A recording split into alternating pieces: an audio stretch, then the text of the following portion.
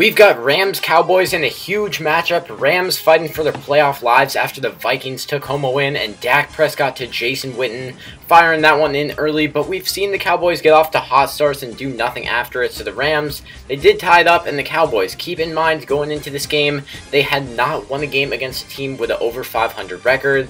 But things were looking a lot different in this game, as now Tavon Austin, how did he get that wide open? He uses his speed, but he didn't need to really use it on that that play. He was just wide open, 59-yard touchdown. He just walked in, showing off the celebration as well. But now it's 14-7. We're at the two-minute warning. It's not even half yet, so maybe they can get a score, then go into the break. So Zeke, he's getting that score, but then the Cowboys say, why not we get another score? Because Zeke, he's punching that one in. It's a 21-7 lead. They're dominating. And then look, the Rams, they get the ball back. It's second and 14 already. And this just shows how it's all Cowboys in the game. Jared Goff, he's dropping back. And Sean Lee stepping up without Leighton Vander Esch. He's been injured for a while. And Sean Lee showing off the moves also. He gets a nice spin, so he's going to get them into the red zone. And that sets them up in Zeke's zone as before halftime. It's 21-7. The Cowboys are dominating, and these are all the highlights for the game that we need to say is going into half. It ended up being a 28-7 lead